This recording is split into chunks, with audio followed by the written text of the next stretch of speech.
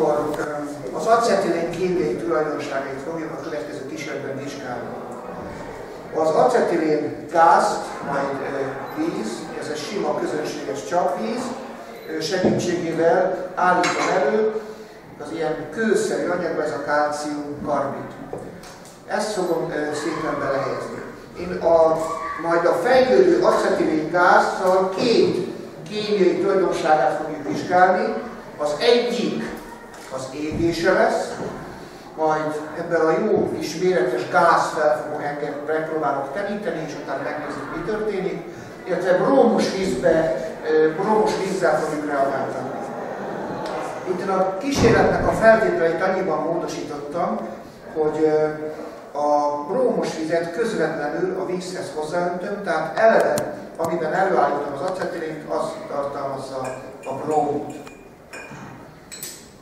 Jól megfigyelhető a brómnak igaz a szép kis narancs, narancsos színe, és akkor ehhez rakunk akkor egy kisebb mennyiségű karbidot.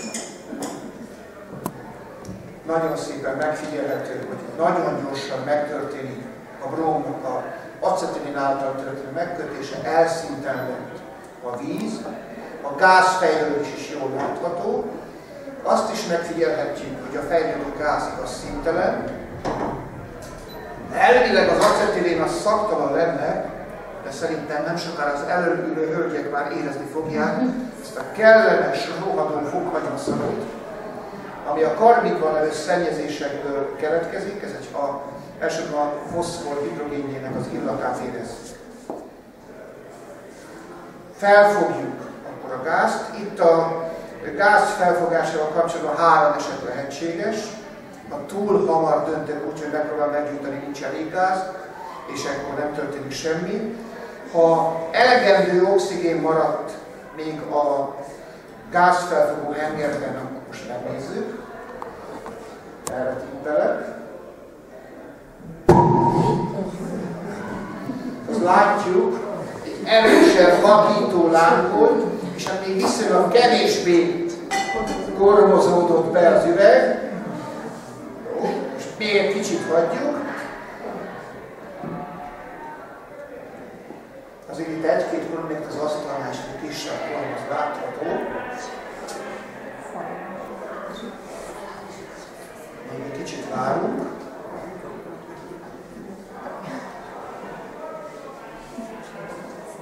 Úgyis az tönkre karbid eléggé a levegő víz tartalmát is megköti. Na, nézzük meg most.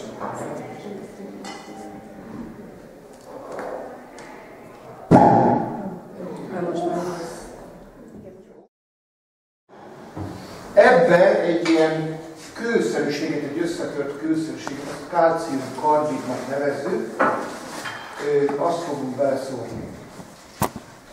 Előtte egy lángot létrehozok, mert ehhez a kísérlet is kell.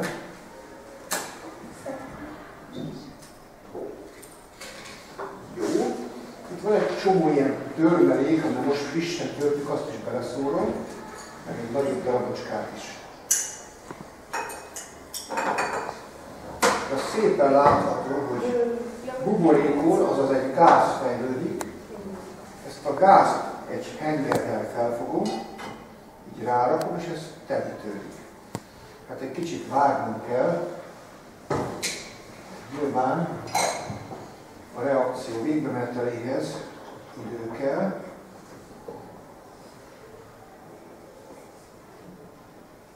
És az a baj, hogy ez a gáz milyen színű? Milyen szint látok itt a hengerben? Átlátszó az az, szintelen. Mivel szintelen ez egy kicsit nehezíti mert nem látom, mikor telik meg. Próbáljuk meg, jó? Akkor ezt a gázt átvezetem a lámphoz, nézzük meg, történik-e valami. Hát nem, mert nem volt még Rakom bele még egy kicsit.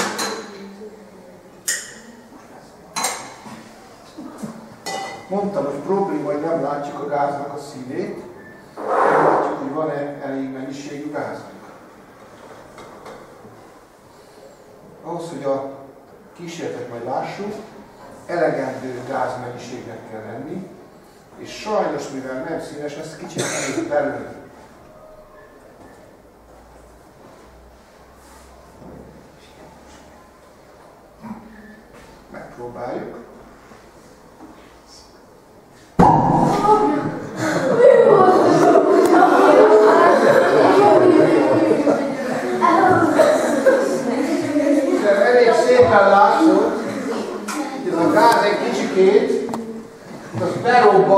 Durranógáz, egy acetilén durranógáz próbát látni. Na most, ha megnézed közben, a szintelen víz, az meg ilyen fehér tejszerület, mert oltott víz keletkezik belőle, és ha ebbe egy kis feloftalait rakunk, akkor ilyen szép kis rózsaszín, színű lesz, majd tanuljátok 8. a kéjjel, ez a rúgos képhatást jelenti. Most ezt a gázt ott gyújtjuk be, még látható, hogy bugyog egy kicsit,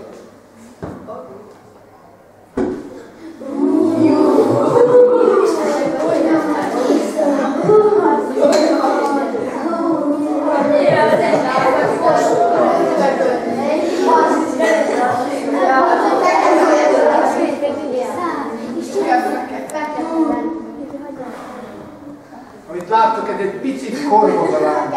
Oh.